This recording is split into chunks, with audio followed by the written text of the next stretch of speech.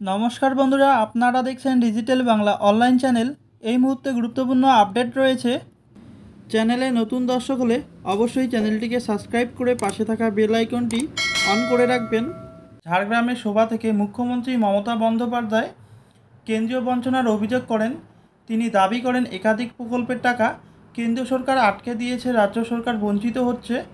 তার আরও দাবি, শুধু ভোটের আগে কেন্দ্র সরকার তাদের কর্মীদের ডিএ বাড়িয়ে দেয়।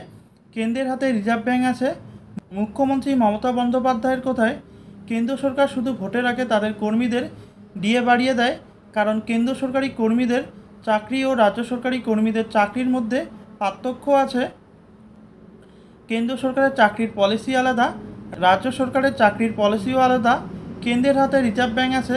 কেন্দ্র রাজ্য সরকারকে স্কলারশিপের টাকা দিচ্ছে না, রাস্তার টাকা দিচ্ছে না, সেই টাকা দিয়ে মুষ্টিমেয় লোককে দিয়ে দিচ্ছে। উপরতলার মানুষদের সন্তুষ্ট করার জন্য এদিকে মুখ্যমন্ত্রীর এই বক্তব্যের বিরোধিতা করেছেন রাজ্য সরকারি কর্মীদের সংগঠনগুলি। সুপ্রিম কোর্টে মামলাকারী সংগঠন, কনফেডারেশন অব স্টেট গভর্নমেন্ট এমপ্লয়িজের সাধারণ সম্পাদক মলয় মুখোপাধ্যায় বলেন, মুখ্যমন্ত্রী যে পলিসির কথা বলেন তা সম্পূর্ণ মিথ্যা। কেন্দ্র সরকার মর্গ ভাতা দেয় একই জানুয়ারি ও একই জুলাই। এর থেকে নির্বাচনের কোনো সম্পর্ক নেই।